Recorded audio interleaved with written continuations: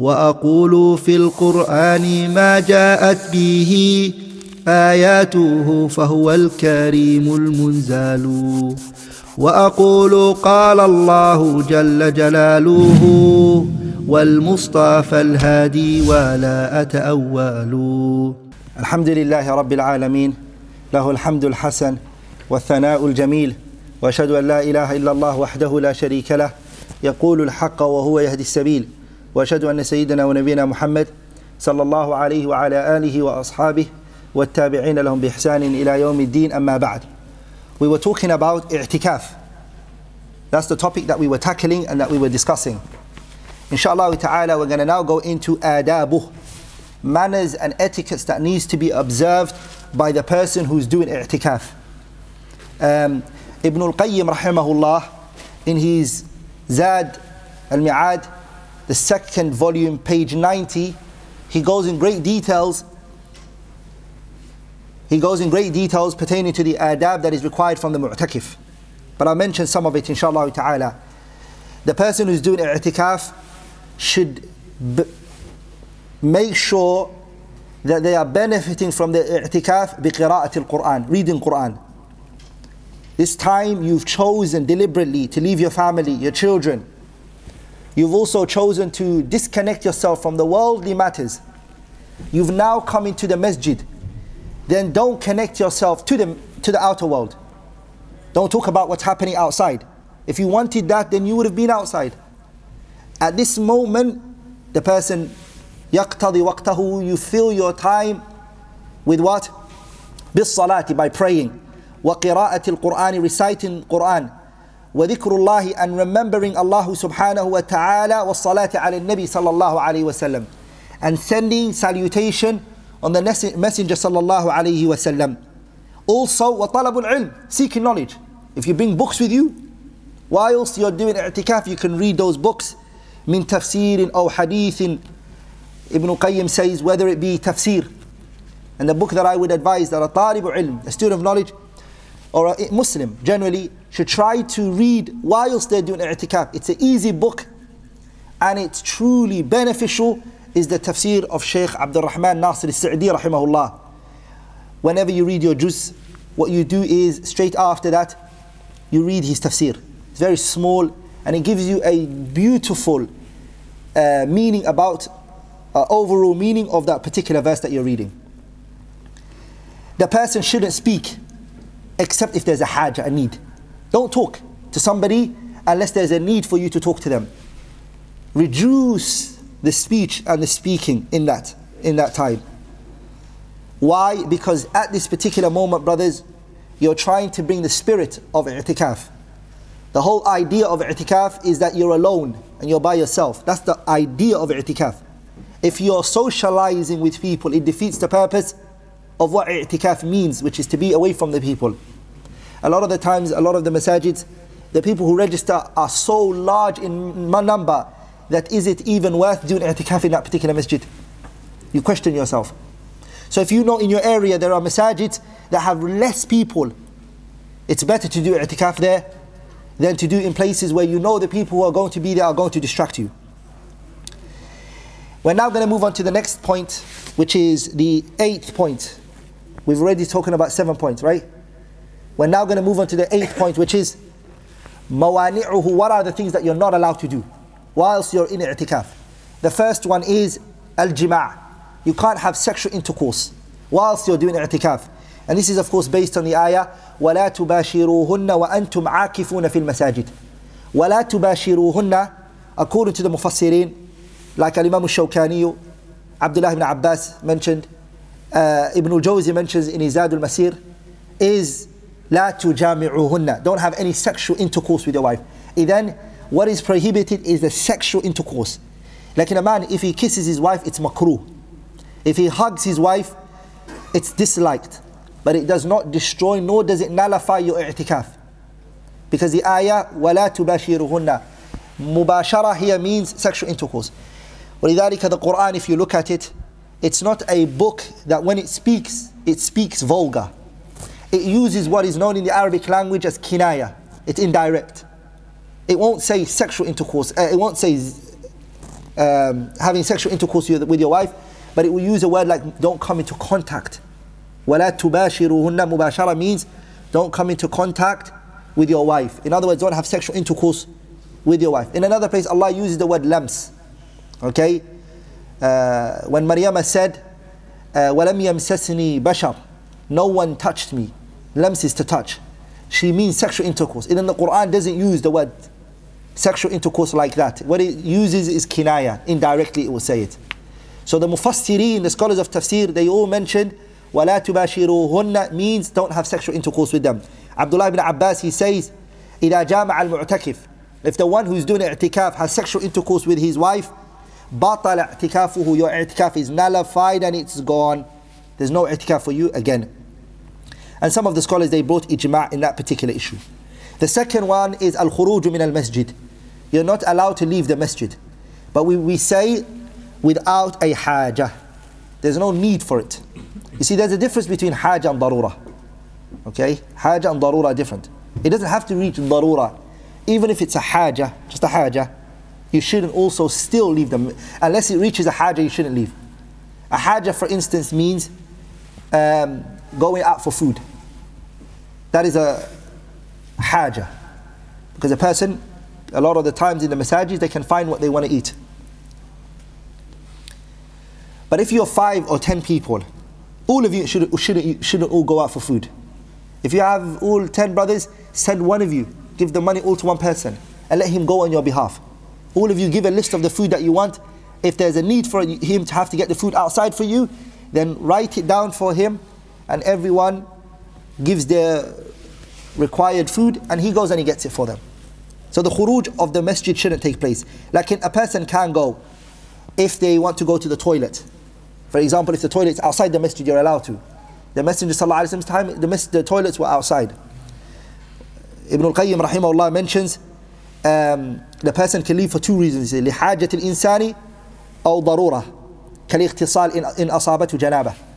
For example, to do ghusl if major impurity happens to you. أو بول أو غائط call of nature.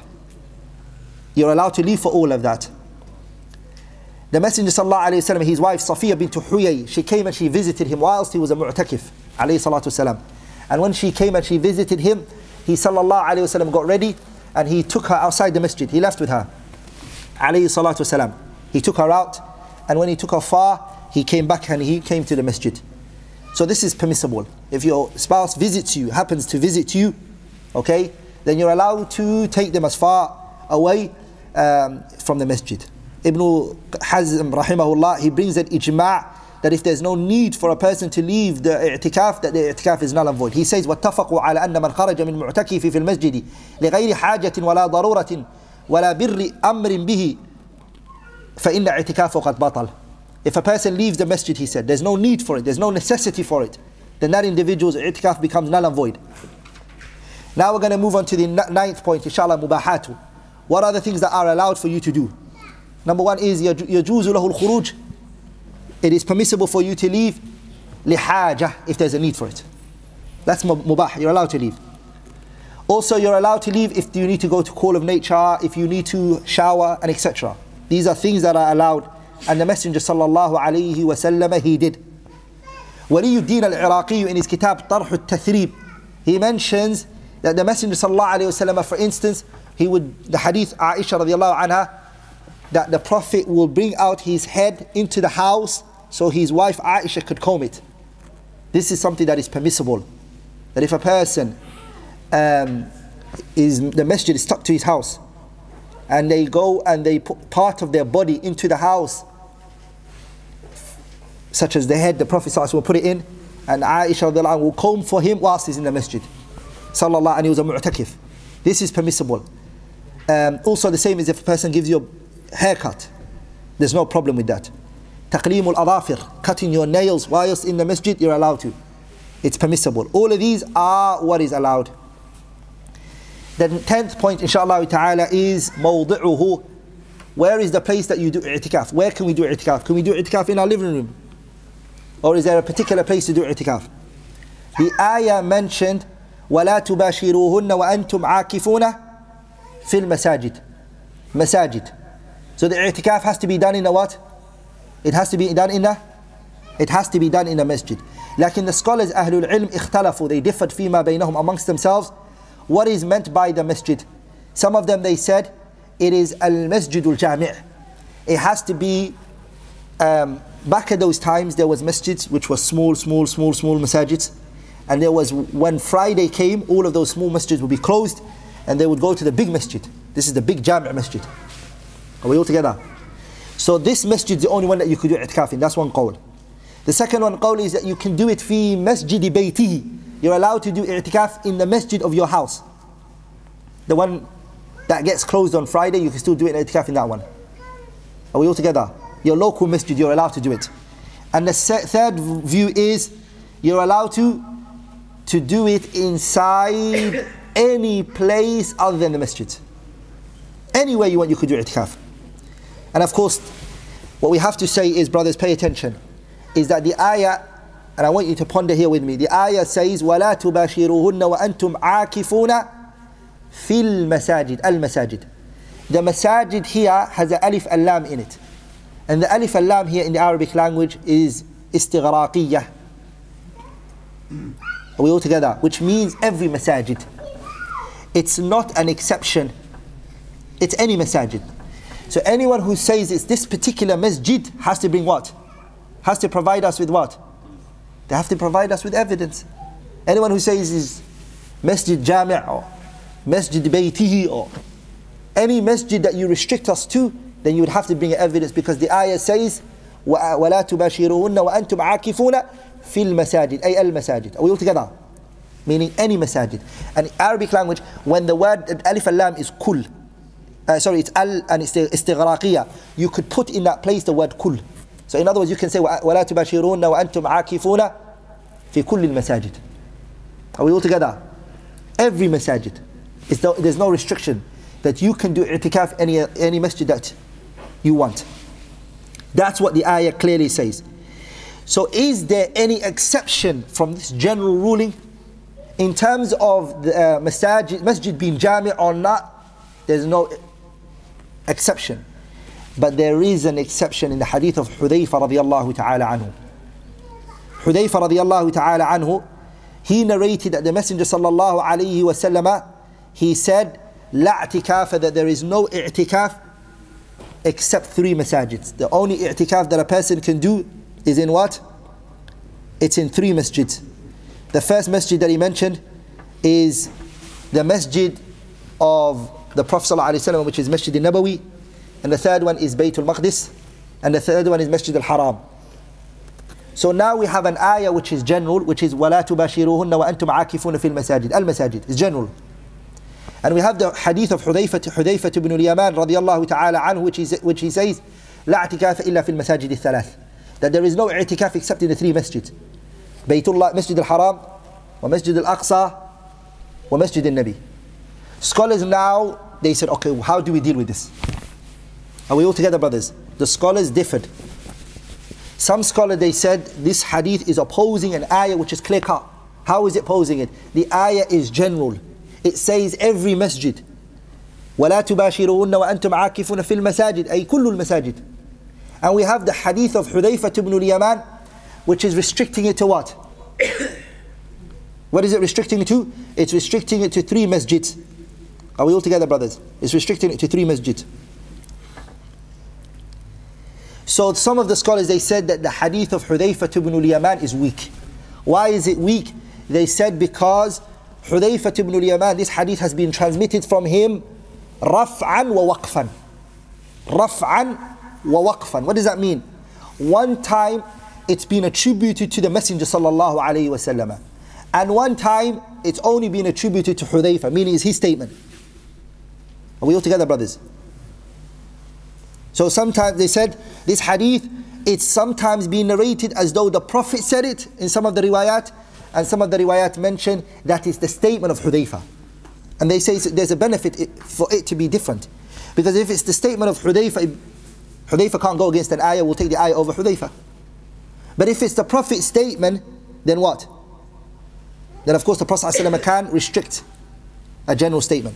Are we all together, brothers? So some of the scholars they weakened the hadith and they left by saying that the hadith of Hudayfa radiallahu ta'ala anhu la yasihu. Are we all together, brothers? There are some scholars who took that opinion that is weak. And there are some scholars who strengthen the hadith of Hudayfa ibn al-Yaman, وهو الراجح, that is the strongest. Are we all together, brothers?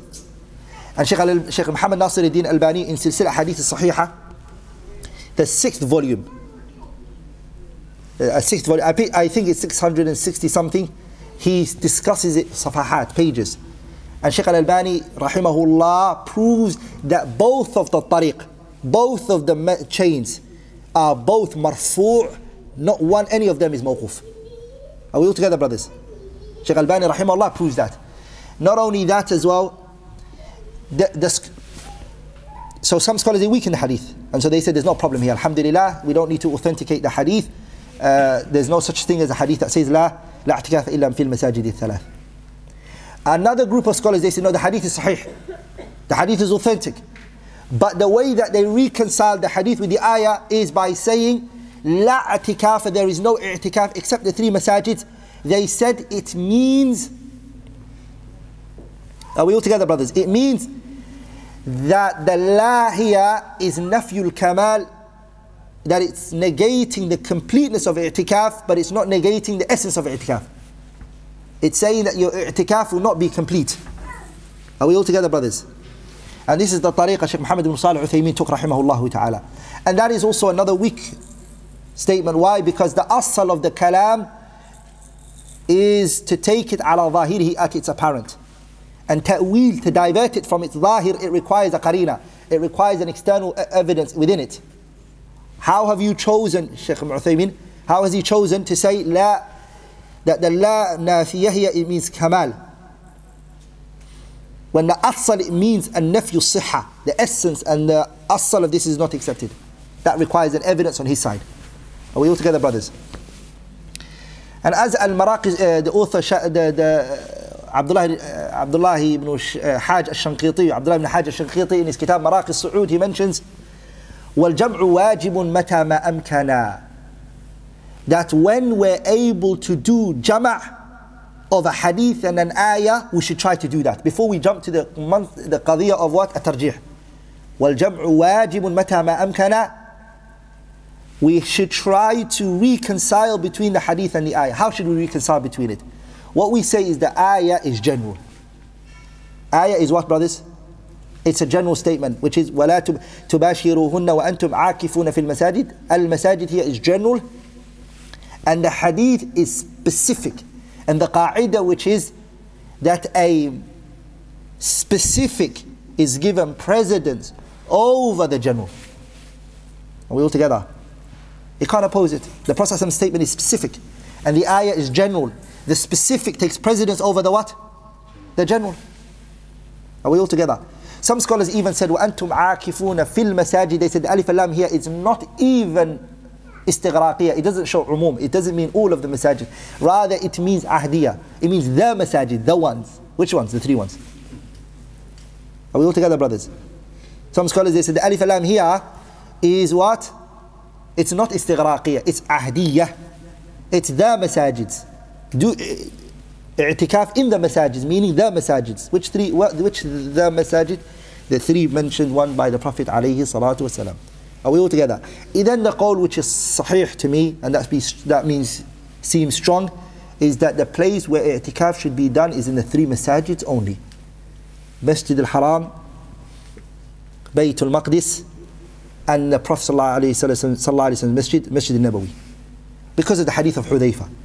But this mas'ala, as I said, is a khilaf amongst the scholars. It's not a mas'ala which is all, you, all agreed upon. So if you take the other side of the argument, then no one should force their opinion down your throat.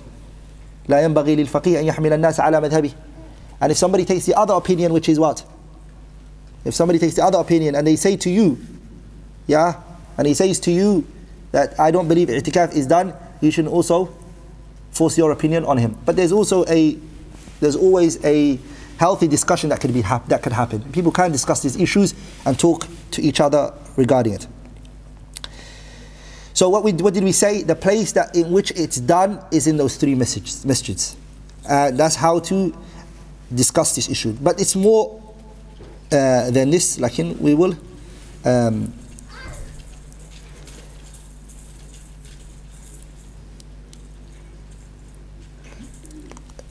Now, inshallah ta'ala, we're going to jump to the khatima, the conclusion, which is the final point of our discussion. And that is, we took ma'na al-i'tikaf, we took the meaning of i'tikaf. We took adilla to mashru'iyyati, the evidence that point towards the legislation of what? I'tikaf. We spoke about that. We spoke about its hukum, its ruling. We spoke about hikmatu, the wisdom behind i'tikaf. We spoke about the time in which i'tikaf can be done. We spoke about the prerequisites, the shurut that are required. We spoke about adabu, the manners that a person needs to observe. We spoke about mawani'u, the things that you need to stay away from if you're doing i'tikaf. Mubahatu, the things that you're allowed to do when you're doing i'tikaf. Mawdi'uhu, we spoke about the place which you do i'tikaf in. And here we are on our final point, which is, inshallah ta'ala, if you guys have any questions that you can ask bi'idhnillah al-kareem regarding all of those points, inshallah ta'ala. But if I had said anything wrong or incorrect, or I did a mistake while speaking, is for me and shaitan and Allah and His Messenger are free from it. Subhanakallahumma bihamdik. Ashhadu an la ilaha illallah. Astaghfiruka wa atubu.